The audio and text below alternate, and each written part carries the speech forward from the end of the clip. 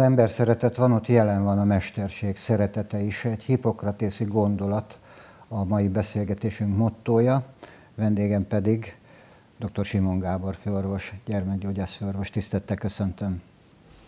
Üdvözlöm és a kedves nézőket is. Akár lehetne a beszélgetésünk alcíme, hogy fél évszázad a gyógyításban, hiszen rövidesen itt lesz 1971 50 éves évfordulója, amikor is végzett az egyetemen.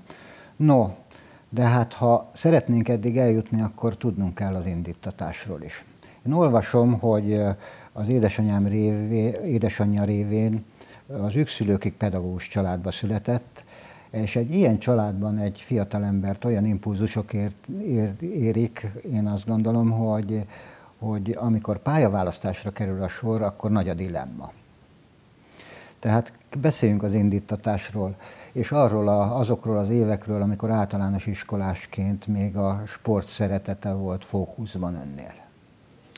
Igen, hát én azt hiszem, hogy a középiskolát bezárólag a nagyon aktív sport jellemezte a életemet, de utána se váltam el, az egyetemen is amatőr szinten üztem a sportot, és a mai napig is aktívan igyekszem élni.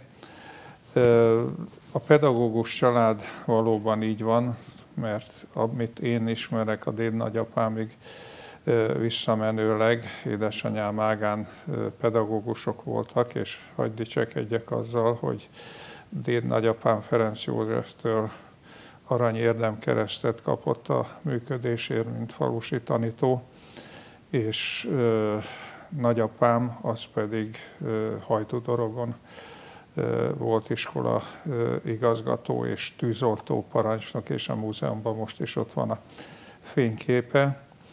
Ö, édesanyám ö, az ö, hát egy más ö, pályát kezdett el érettségi után az orvos egyetemre került Budapestre, majd Debrecenbe, de jött a háború, és édesapám pedig állatorvosit végzett, és lekerült vidékre, így az orvosi tanulmányait négy év után abba hagyta édesanyám, és végül pedagógus lett, mert Egerbe elvégezte a főiskolát, úgyhogy folytatta a dinasztiát, és én pedig tulajdonképpen, hogy nem tanár lettem, azt annak köszönhető, hogy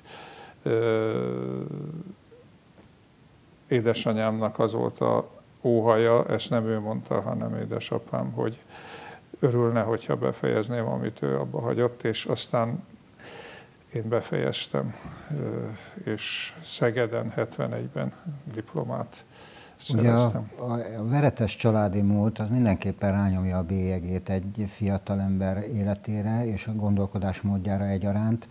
Amikor orvos egyetemre ment, akkor most már tudjuk, hogy az édesanyja abba hagyott orvosi tanulmányait folytatta, ha úgy tetszik. Ugyanakkor miként választott szakot magának, hiszen az korán sem egyértelmű sohasem, hogy egy frissen végzett diplomás orvos milyen jövőképet lát maga előtt. Igen, a gyerekgyógyászat tulajdonképpen a egyetem alatti nyári gyakorlataim alatt került hozzám közel. Az Újszegedi kórházban ápolási gyakorlaton voltam, és ott találkoztam egy gyógyíthatatlan beteg kisfiúval, aki 13 éves volt, és egy olyan bénulásos betegségbe szenvedett, ami sajnos még a mai napig sem tudunk gyógyítani, és nagyon jó sakkozott, és úgy tudta fölemelni a sakfigurát, hogy az egyik kezével átnyúlt a másikhoz, és akkor én azt mondtam, hogy gyerekgyógyász leszek, és igyekszem megtalálni ennek a betegségnek a gyógymódját. Hát az első az megvalósult, hogy gyerekgyógyász lettem, és hál' Istennek nagyon sok gyereken tudtam segíteni. de ennek a betegségnek a gyógymódját még máig sem ismerjük. Vannak hasonló betegségek, amiről mostanában hallunk, ugye, hogy 750 millió forintba kerül a gyógyítása, és hát a sajtóból is látjuk, hogy milyen eredményeket lehet elérni ezzel. Sajnos ez a dystrófia musculorum progressiva nevű betegségnél még hát nem lett fölismerve az a gyógyszer, ami segít rajtuk. Aki az orvosi hivatást választja, az általában szívesen emlékezik vissza azokra a mesterekre, azokra a professzorokra, akik elindítottak a pályán, akik egy olyan indítatást adtak, amire szívesen gondol vissza. Önnél kik voltak azok a professzorok? Hát Szegeden végeztem, és ott Boda Domokos volt a gyerekgyógyászati klinikán a vezető, aki rendkívül nagy tudású, jó kutatóorvos volt, és nagyon mély hatást tett rám. Tulajdonképpen az ő személye is segített a pályaválasztásban. A egyetemen számos olyan hát nagyon neves és jó minőségű kutató volt, mint Murányi Lajos például, aki hát mély hatással volt a további pályám alakulására. És amikor 1971-ben ide kerültem Székesfehérvárra, akkor hát egy általános kórházba csöppentem bele, ahol volt 120 ágy, 8-10 ágyas kórtermek, és hát nagyon sok súlyos, én egy hidrokefaluszos gyerekre emlékszem, akinek a feje alig fért el az ágyba, ez a vízfejűség, amikor az agyvízkeringés ne áll és megnő a feje. És e, tulajdonképpen a Mért József főorvos volt az első e, osztályvezető, akitől szintén sokat tanultam. Majd a nyugdíjba vonulása után egy rendkívül nagy tudású és nagyszívű ember, Lőrinci Kálmán volt az osztályvezetőm, és 84-85 között Pécsről Súlyok Endre professzor, aki egy évig volt sajnos csak itt, de nagyon sokat tanultam tőle. Aztán két vagy egy év után visszament Pécsre, és Kuhár főigazgató engem bízott meg az osztály vezetésével, és akkor Schuller Dezső professzor, aki a szakmai kollégiumnak és a gyerekgyógyásztárságnak az elnöke volt, fölhívott egy elbeszélgetésre, és azt mondta, hogy Gábor, mivel klinikán hosszabb időt nem töltöttél, azt szeretném, hogy a gyerekklinikákra, illetve egy-két nagy megyei kórházba ellátogatnál, és ott eltöltenél egy-két hónapot. 85-től megbízott osztályvezető voltam, és nyakamba vettem az országot, és így nagyon sok olyan gyerekgyógyásszal ismerkedtem meg, akivel a későbbiek során, amikor már kinevezett osztályvezető voltam, nagyon jó kapcsolatot ápoltam, és munkásságuk nagyon nagy hatással volt rám. Ilyenek voltak Velkei László professzor Miskolcon, ilyen volt a Méhes Károly professzor, aki abban az időben a Győri megyei kórháznak volt a vezetője, később Pécsre került. Hát Boda professzort nem kell bemutatnom, mert ő is közöttük volt.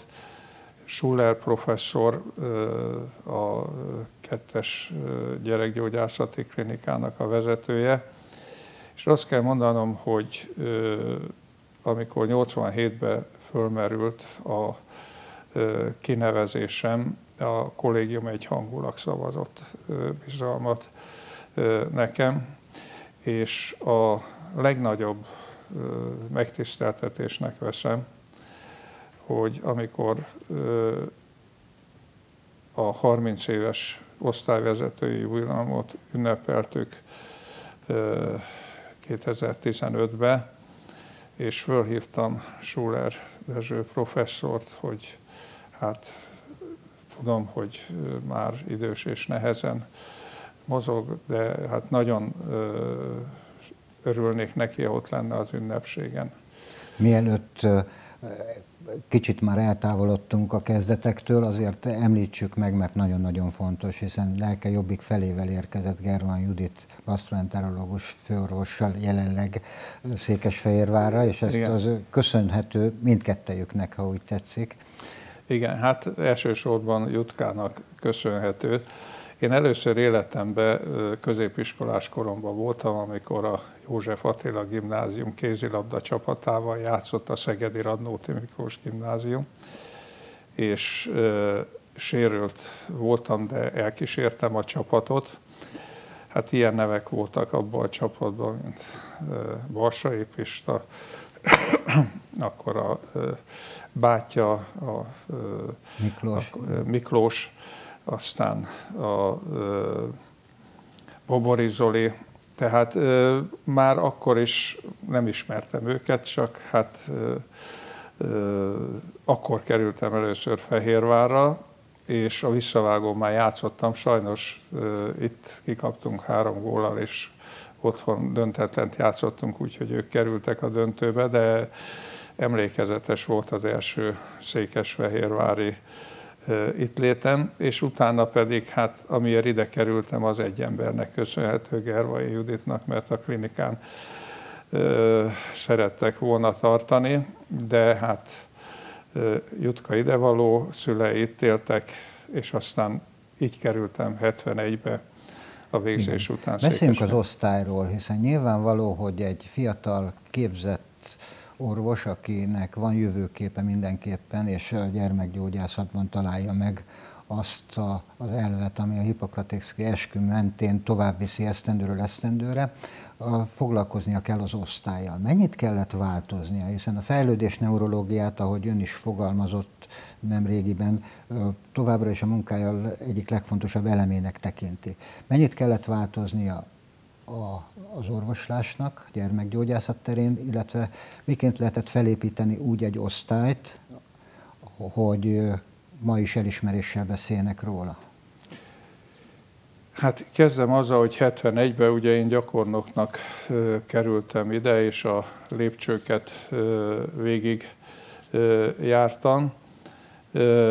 Kezdetben a szakvizsga után az 75-ben történt. A újszülött gyógyászat felé tendáltam, és mivel akkor nem volt neonatológus az osztályon, elég hamar belecsöppentem a akut ellátásba. Természetesen akkor még nagyon gyerekcipőbe járt az intenzív újszülött ellátás, tehát nem voltunk fölkészülve a lélegeztetésre, intenzív monitorizálásra, a súlyos betegeket Pestre küldtük, és hát abban az időben, még hogyha jól emlékszem az adatokra, egy-két ezrelékes eltérés, olyan 37 ezrelék körül volt a csecsemő halálozás, ami azt jelenti, hogy ezer megszületett gyerekből 37 meghalt. Ma 3 ezrelék alatt tartunk Fehérvárot, és országosan is e közelében kicsit magas, jobb az átlagunk, mint az országos. Aztán fokozatosan, ugye adjuntus lettem, aztán 80-ban megszülettek az enyéngi négyesiknek, ami elég nagy port felt fel a mm. sajtóba, és hát őket én menedzseltem, és lehet, hogy ennek is köszönhetően elég fiatal, 84-ben már főorvosnak neveztek ki, és aztán jött és ment Súlyok Endre professzor egy év után, és úgy lettem az osztályvezetője. Akkor már azért tudatosan kezdtem kiépíteni magamban, és aztán a későbbiekben pedig nem csak magamban, hanem a valóságban is az osztályt. Egyrészt gyerekintenzív részleget alakítottam ki 86-ban, a koraszülött részen kialakítottuk a lélegeztetési feltételeket, 90-ben a újszülött intenzív, országos újszülött intenzív központ lettünk, tehát már mi láttuk el a súlyos lélegeztetésre szóló koraszülötteket, érett újszülötteket. Aztán, ha továbbiakban gondolkodunk, akkor nagyon fontosnak tartom, hogy szubspecialitások legyenek az osztályon. Tehát elkezdtük a különböző második szakvizsgáknak a képzését, gyerekkardiológia, a gastroenterológia, neonatológia, úgyhogy mire 91-ben megnyílt az új rendelőintézet, akkor már 14 területen végeztünk szakrendelést. Tehát tudatos volt az építkezés, és folyamatosan Igen. olyan munkatársakat keresett, akik hát elérjék nem, azt a hát a meglevő munkatársakat irányítottam olyan irányba, hogy jó lenne, hogyha te neonatológiával foglalkoznál, most neurológusra van szükségünk, és természetesen a fluktuáció azért megvolt, tehát Mondjam azt például, hogy a neurológusunk a Országos Idegsebészeti Intézetben lett osztályvezető, aki fölment a 90-es évek vége felé, a Kisteleki Andris, aki ugye itt volt kezdetben velem, ő siófokon, ő kardiológus volt, és siófokon lett osztályvezető, és Hát így fokozatosan elértük azt, hogy amikor átadtam az osztályt az utódomnak már, 27 második szakvizsgával rendelkező, és 23 szakorvos dolgozott, ebből 5 külsős. Ez azt jelenti, hogy akik kimentek például házi orvosnak, mondanék egy pár nevet, de lehet, hogy megsértek többeket, mert a házi gyerekorvosoknak a fele körülbelül az osztályomról került ki, de azt hiszem, hogy a Vajda Marian nevét, vagy Füller Mária nevét, vagy a Felker Zsuzsa nevét, Kiszevics Tamás nevét, Gruiz Andrea, Wilhelm, Robi, ezek mind az osztályon nőttek föl, és egy idő után úgy döntöttek, hogy kimennek, de akkor mindig kellett újakat képezni. Amikor azt láttam, hogy elment az egyik neurológus, utána a másik neurológus, aki Dunaújvárosból csábítottam át, Kollár Kati, az a Heimpál kórházba lett osztályvezető főorvos, akkor elindítottam újabb neurológus képzését és így értük el azt, hogy két, illetve három szakvizsgával rendelkező kollega ma is 18 dolgozik az osztályon, és több mint 30 második szakvizsgája van a gyerekgyógyászaton kívül. Miközben beszéltünk arról, hogy most már európai szintű ez az osztály, essék szó egy misszióról. 1983-at írtunk, amikor az országban elsőként az óvónőkkel összefogva, úgy tetszik szövetkezve, megszervezték a mozgássérült gyermekek számára az integrált óvodai csoportot. Ez egy vadonatúj történet volt, ami máig is azt hiszem, hogy köszönettel tartozunk érte. Igen, az egy nagyon érdekes dolog volt. Ugye mondtam, hogy újszülött gyógyászat irányába ö, mentem el annak idején még fiatal koromba, és elég sok ö, súlyosan idegrendszeri sérült gyerekkel találkoztam. Több volt az agyvérzés, több volt a oxigénhiányos sérülés, és Katona Ferenc professzor csapatával vettem föl a kapcsolatot, aki a Szabadsághegyen dolgozott, és fejlődés neurológiában nemzetközi szinten is egy nagyon elismert szakember volt, és az ő nyomdokain kezdtem el foglalkozni ezekkel az idegrendszeri sérült gyerekekkel, és egy éves kor, két éves kor után kellett találni valami helyet, ahol a rendszeres napi fejlesztésüket végzik. Nem volt olyan könnyű, mert a integrációnak a fogalma az akkori időben az nem volt teljesen tiszta és komoly ellenállásba ütközött, hogy mozgássérült gyerekeket, egészséges gyerekeket foglalkoztató óvodába betegyük, úgyhogy komoly harc volt azért, hogy ez sikerüljön, de végül is 83-ban, nem, 85-ben hoztuk létre a Forfa nem a Forfa, mert itt volt először az Úttörő utcába egy évig, aztán a Forfa és végül a Rákóczi utcába került át, ahol gyógypedagógusok, konduktorok, gyógytornászok segítségével ugyan külön csoportba fejlesztették őket, de szünetben kint játszottak az udvaron, ugye az egészséges gyerekekkel, ez a fejlődésükre nagyon jó hatással volt.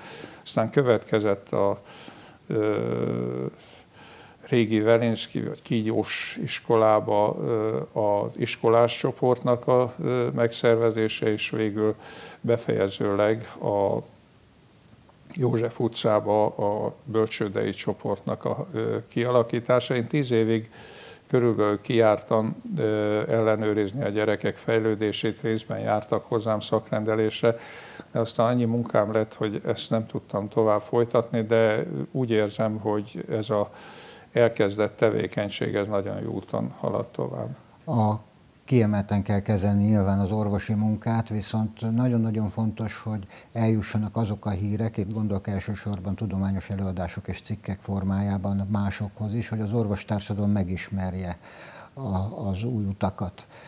Hogyan tudja ezt összeegyeztetni? Van-e elég ideje? Volt -e elég ideje arra, hogy ezeket megismertesse a, a Én a úgy gondolom, csapattal? hogy minőségi munkát csak úgy lehet végezni, hogyha az ember a napra kész a tudományba, és a legújabb dolgokat befogadja. Egy ember annak idején, meg pláne még nem volt ilyen informatika, képtelen átlátni az egész területet, ezért bevezettük reggelenként, illetve minden héten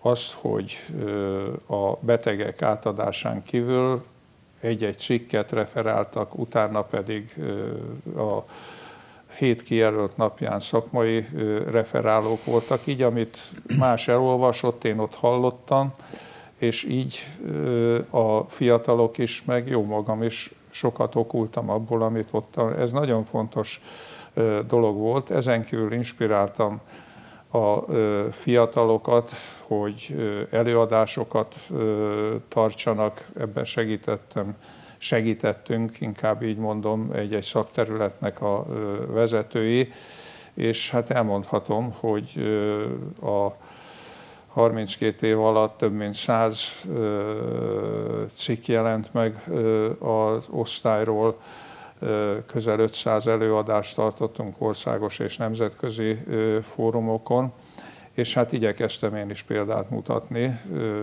több külföldi helyszínen is adtam elő, és hát voltak olyan témák, például a újszülött ellátással kapcsolatban, ami hát valóban új dolgok voltak, amit itt bevezettünk, például a agyvérzetteknek a agykamra punkcióját, a agykamra átmosását, ez egy nagyon, hogy mondjam, akkoriban még nem elfogadott, de nagyon jó eredménnyel végzett beavatkozás volt, akkor a újszülöttkori fertőzéseknél a fehérvérsejtek képződését elősegítő stimuláló faktornak a kezeléséről 94-ben Helsinki-be számoltam be, majd 95-ben Kairóba egy világkongresszuson, akkor még egyetlen egy eset ismertetés történt a világon. Ma már befogadott terápiás eljárás az újszülöttkori súlyos fertőzések kezelésében. És én úgy gondolom, hogy nagyon jó szívvel mondom, hogy a egyes gyerekklinika egyik professzora mondta, hogy te Gábor, hogy létezik az, hogy te ilyen csupa ilyen okos embert veszel magak közül, hogy mindig ötösre vizsgáznak? Mondom, mert jó képzésben részesülnek, hamar be vannak dobva a mélyvízbe, önállóságot természetesen felügyelet mellett kapnak, és hát egy megyei kórházban mindenféle betegség előfordul, úgyhogy szerintem még jobb felkészülés szempontjából szakvizsgára, mint egy klinika, ahol elég izolált egységekben Igen. vannak, és itt már három hónap után ügyelt a fiatal, aki ide került, és nem volt véletlen, hogy így a 2000-es években, amikor meghirdettünk mondjuk három állást, akkor 15-20 jelentkező volt rá, mert szerettek itt lenni a fiatalok, és ez jó érzés volt, hogy a máshol lasszóval fogták a orvosokat, nálunk soha nem volt hiány. Így van, és talán ennek is köszönhető a jó példáknak, hogy a család természetesen egy további orvost adott nekünk, igen, hát ö, annak idején fiatalon, ö, amikor ide kerültünk, hát elég sokat ügyeltünk. Ö, az azt jelenti, hogy ö, mondjuk reggel bemegyek, és szombaton, és hétfőn délután megyek haza, nem egy ilyen ügyelet volt, akkor még nem voltak ilyenek, hogy szabadnapok, meg lelépés ügyelet után. Volt olyan, amikor a nejemmel együtt 15-öt ügyeltünk, fölvált olyan nyár, ugye mert a gyerekekkel valakinek kellett foglalkozni, és hát én nem szerettem volna egyiket se rábeszélni, hogy orvos legyen, és ennek ellenére mind a kettő orvosi pályát választotta. Ez egy bizonyos fokig jó érzéssel. Igen, és sikeres orvos. No, de miként maradt ideje a sportra? Hiszen azt nagyon is jól tudjuk, hisz a beszélgetésünk elején már elhangzott, hogy, hogy sportolt fiatalon, és hát ez nyilván megmaradt a szenvedély. Igen. Hát a sportra úgy maradt időm, hogy kénytelen az ember, hogyha fizikailag is topon akar lenni, és hát elég nagy mennyiségű, minőségi munkát végezni, akkor a szervezetnek, pláne hogyha fiatalon sokat edzették, akkor kell valami.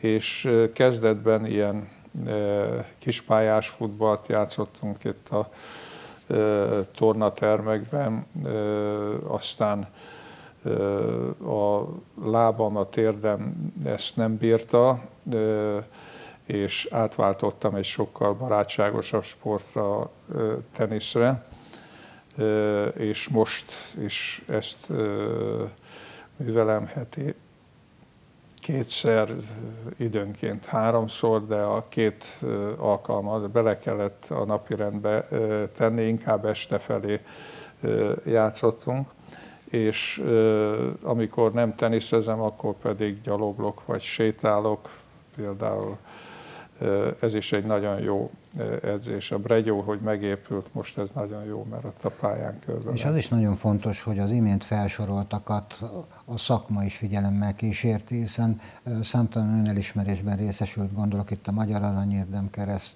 Berzsenyi Zoltán díj, a Magyar Gyermekgyógyász Társaságtól a Szent György emlékérem, aztán a Romhányi díj, ugye a Romhányi professzorra is szívesen emlékezünk itt, amikor kerek az élete, úgy gondolja, hiszen azt tudjuk, hogy ma is dolgozik. Én úgy érzem, hogy kerek az életem, mert a szakmai elismerések az egy dolog valóban, amire büszke vagyok, hogy a szakma is elismerte a közvetlen tevékenységemet, például a perinatológiai társaság, akinek a kongresszusait 15-ször itt seregélyesen tartottam, és nagyon aktív részvétel volt, 70-80-an jöttünk össze.